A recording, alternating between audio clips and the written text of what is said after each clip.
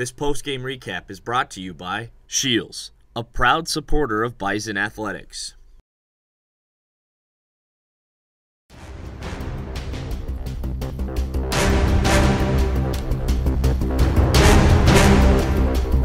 The Bison begin Summit League play tonight against a prodigal son returned home. The Oral Roberts Golden Eagles, after leaving the Summit League two years ago, have returned and North Dakota State opens the 2014-2015 conference season against ORU tonight. Werner dribbling and gets a screen, drives in from the right, wants to finish, and lays it in with the right hand. Hand off to Brown. He gives to Miller. A catch and shoot three, nothing but net. Paul Miller goes down the baseline. Kicks it to Billbury, right side for three. Yes.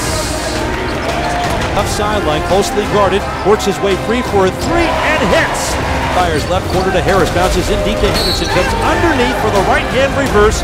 Count it and a foul on North Dakota State. LA. Stop and go dribble drive. Now to Koenig. Left alone. Top of the key. Three. Bang! Young drives the lane. It comes high in the right to Emegano. Drives into the paint. Jump stop the leader with the right hand. Good plays it into Werner. Hands it back to LA. A long three-point shot. Good! LA now looking for three. Shot up. Shot good! And the Bison lead 42 to 41. Dribbles to the left side. Stops. Pops for three. And it's in! And the Bison lead by three.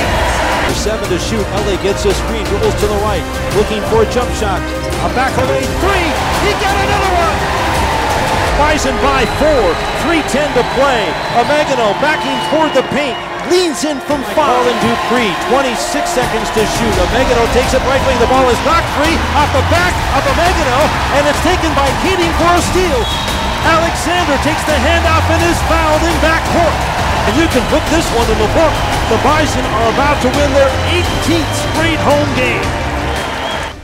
Let's figure out where you're getting the Yes, sir. Good job. I got a family on three. One, two, three. Family.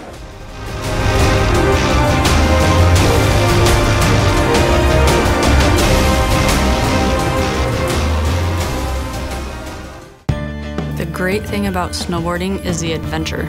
All day long, you're finding different ways of doing different things, and it's never the same. I don't mind snowboarding alone, but if you've got your friends up there on the mountain and you guys can all cruise down together, it's a really, really fun time. Snowboarding has been really fun and really rewarding for me, and I want it to be fun and rewarding for my customers as well. I'm Lindsay McKinstry, and I'm one of the snowboard experts at Scheels.